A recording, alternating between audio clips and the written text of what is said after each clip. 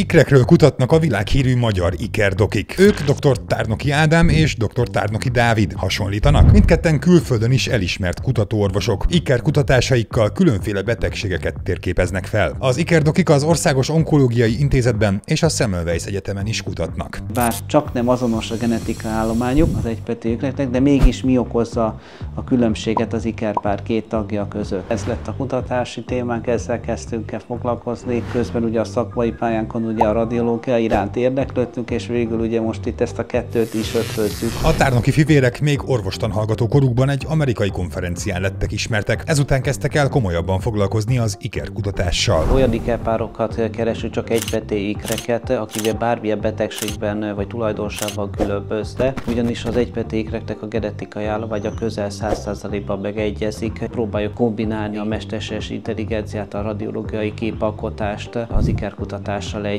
és az amúgy egy eléggé ritka tudományterület, és talán a világon még nem sok ember van, aki így ezzel foglalkozik. Egyes vélemények szerint az ikrek között különleges a kötődés, szinte már telepatikus. Erről az ikerdokik is tudnának mesélni. Egyszer-egyszer volt, hogy hasonló gondolataink voltak, ugyanarra gondoltuk, ugyanazt szerettük volna mondani, ugyanazt csináltuk. A fivéreknek hála ma már sokkal többet tudhatunk az ikrekről és saját magunkról is. Az álmunk egy még nagyobb infrastruktúrát létrehozni, amivel világszínvonalú kutatásokat lehetne végezni. Szerinted milyen lenne az életed, ha lenne egy ikertestvéred? Írd be kommentben!